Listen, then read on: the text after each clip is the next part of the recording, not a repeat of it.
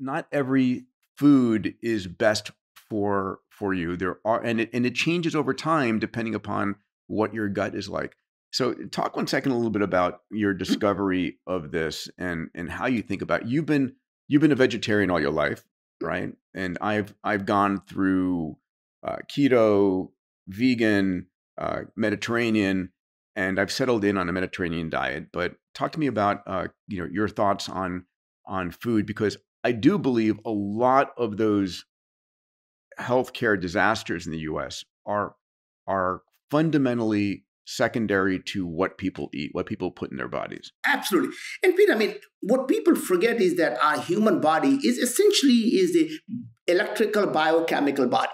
What we put into our body is actually being changed by a chemical factory called our gut microbiome and our oral microbiome. So essentially, your oral microbiome is pre-processing the food, sending the signals to the uh, uh, brain, and that in turn is actually now getting ready for what is coming. And our gut microbiome, the 100 and 100 trillion of these microbes are actually processing the food, releasing bunch of biochemicals, right? So imagine that we as humans less than 1% of all the genes that are expressed in our body come from our mom and dad 99% come from all these microbes. Yeah. And in some sense, we it's not about them and us. We are a walking, talking ecosystem.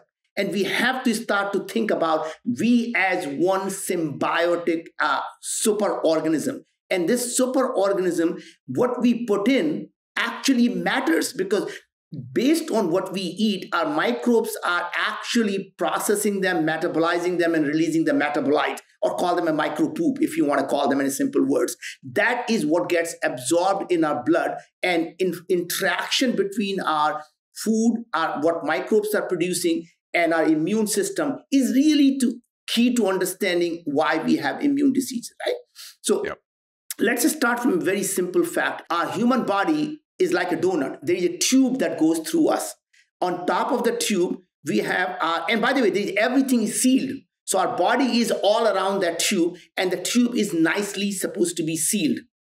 70% of our immune system is along our gut lining because this is really where the external environment meets the uh, in our body.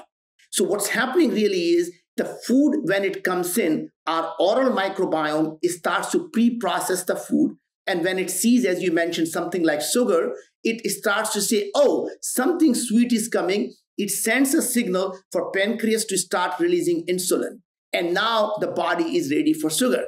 Now, the second part that happens is when you eat something sweet, it's not sugar in itself, but sugar gets metabolized by your oral microbiome and it in fact changes the acidity of your mouth right? So now changing the acidity is what causes your uh, tooth decay. So it's not the sugar in itself that causes a tooth decay. It is the microbes that process sugar releasing the acid, acid that causes the tooth decay, right? Similarly, when you have that, uh, you know, inflammation in your gum, suddenly your barrier to the body is broken. And now you have the microbes now they are able when you have a gum inflammation now microbes are going into the blood. Now you have a chronic inflammation because of that. And same thing happens in the gut. When you have a leaky gut your microbes are now able to go past the barrier that's supposed to keep them inside check is going into the blood causing chronic inflammation.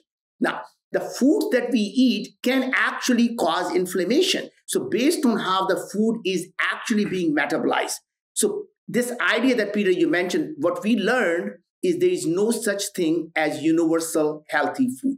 There is no right. such thing if food is good for you or bad for you.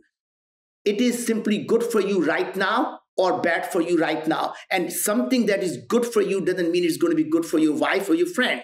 So when you hear someone saying, hey, I am eating avocado and I'm really benefiting from it, doesn't mean if uh, avocado is a superfood for you. so, based on your uric acid production, because your avocado incre- increases your uric acid production. So, if your uric acid production is already too high, the last thing you want to do is to eat uh, avocado because that's going to cause gout. Same thing happens with broccoli. So it's not the broccoli is bad or good. If you have high sulfide production, then you shouldn't be eating broccoli because it increases the sulfide that is inflammatory. And by the way, now I'm not, I'm a vegetarian, but I'm not against eating meat. So red meat contains choline and carnitine. And when that gets processed by your microbes, they actually can convert that into TMA, trimethylamine, which actually gets absorbed in the blood, and your liver converts them into TMAO, trimethylamine oxide. That is what causes the heart disease. So if yeah. your microbes are not producing enough TMA, you should eat red meat. It has a lot of nutrition in your body. So it's not the red meat that's good or bad. It is good or bad based on are you producing a lot of TMA or not enough TMA. Yeah. So, buddy, I, I think this is this is you know uh, critically important for folks to realize. It's you know when I do, I don't want to I don't want to over over stress on Viome, but it's the only product I know right now that gives me feedback on which given the AI systems that you've built, which foods are appropriate given my oral and gut microbiome. And it changes over time, right? Mm-hmm. So I've gotten a incredible uh, increased respect for oral health and gut health because at the end of the day, um, it can make you or break you. And I had a tooth infection, yep. um, secondary. I won't go into it, but uh, that drove me to have to do an antibiotic course. I try to avoid the antibiotics, um, but at the end of the day, antibiotics are what allowed us to double our lifespan in the last 40 years or 50.